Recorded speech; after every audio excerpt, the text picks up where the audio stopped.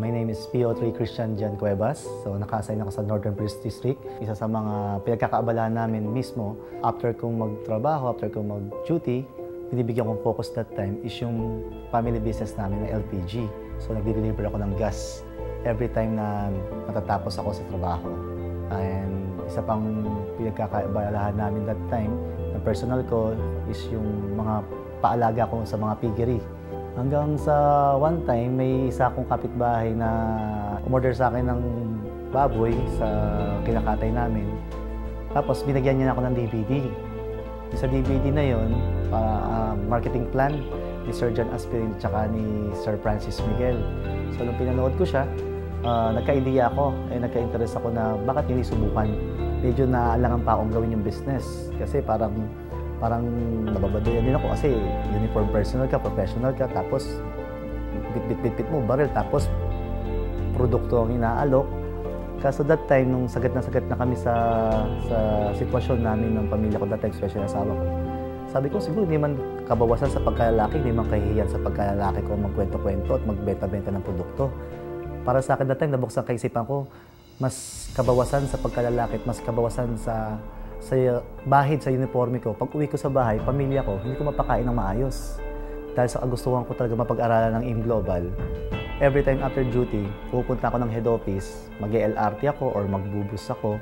Naka-uniforme ako that time palagi. Bakit? Kasi para makatipid. makatipid sa pamasahe. Kasi once naka-uniforme ka, libre ka sa LRT, libre ka rin sa bus. So, yun yung mga mga ginagawa dati nagdadala ko na lagi ng invites sa head office. So, kahit yung mga tao nakatingin sa akin, yung iba parang pagkatatawanan ako dahil nababaduyan sa akin, especially yung mga dating kasama ko.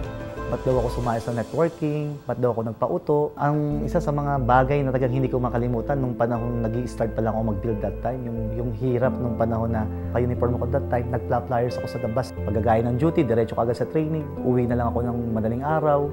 Tapos matutulog lang ako sa bahay, gigising, aalis na naman. Ang tawag nila sa akin, border.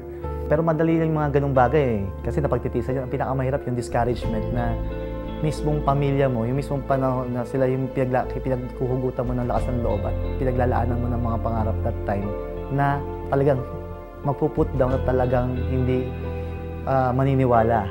Mismong nanay ko na video ako that time, eh talagang minumura talaga ako. Dahil mas nagbigay focus ako sa networking kaysa sa ano yung ginagawa namin sa business namin. So, nakakatuwa rito, no? Uh, although na part-time tayo na ginagawa ang business, na, na nasa trabaho tayo, um, nakuha natin yung isa sa mga highlight o pinakamalaking resulta na na-achieve natin dito is yung US tour na nagkaroon tayo ng 10 years multiple state entry visa. Ang masarap pa rito, dalawang beses ko na isama yung asawa ko that time ngayon, na-enjoy din niya. Sobrang na-enjoy niya yung US. Ang isa pa dito na, na malaking achievement natin nakuha sa Global, uh, for how many years, consecutive profit sharing tayo. Isa tayo sa mga nakakuha ng malalaking profit sharing na yung una is 2.3 million, then yung second is 2 million na kung pag-aaralan, eh kahit sa panahon sa pagpupulis, siguro retirement ko na yun. Ilang taong ko nang kikitain yun. Pero dito sa Global, bonus lang. Bonus lang na nakuha natin habang ginagawa siya part-time. Ang masarap pa rito, for 3 years, nakapasok tayo sa top 20 na, ng company. Siguro ito lang ang advice ko, especially yung may mga trabaho uh, na gustong gawin yung part-time. So, kahit na small effort, small amount lang ng oras, pagdating ng panahon, it will, it will really count.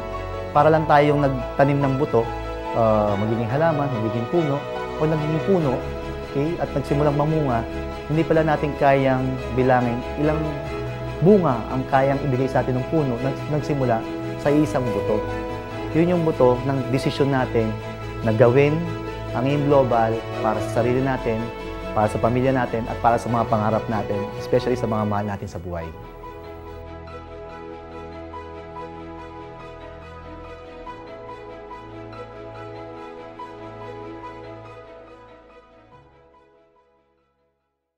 Okay. Ngayon pa lang ako nakauwi. Galing kay Gang. So, pagod na pagod po ako. Grabe. Pero okay lang. Sulit. Hindi pa po ako kumakain. Grabe, pagod-pagod ako. Hindi ako, may madadaan akong karinderya. Wala akong daan karinderya sa pagdating, pag-uwi ko. Pag-uwi ko sa bahay, ito. Anong oras na? Mag-alas 12 na. Gigising ako bukas ng alas 5. natural health and beauty products and services, expanding business in Southeast Asia. Lalong-lalong hindi ho namin kayo magbebenta eh. Share ko lang ho sa inyo kasi mag- nakitulong ho nagawa sa akin yung product. Yung mother ko pong high blood, na tatlo maintenance, eh, naging magandang...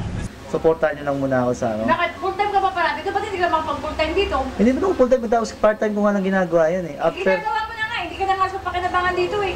ako ko mama ko ako, pag nakuha ko yung first check ng 50,000, bibigay ko sa kanya. Ubusin, sa sampo sinabi mo, isa nga lang tumama doon. Ano? Tumigil ka nga, hindi ka na bilang nasisiw, wala ka pa may ikaw. Pyramiding yan. Ha? Malis ka na nga, kid! Ako ho, kahit ganun, hindi po ako magpapatalo. Tuloy-tuloy pa rin ang laban ko rito sa AIM Global.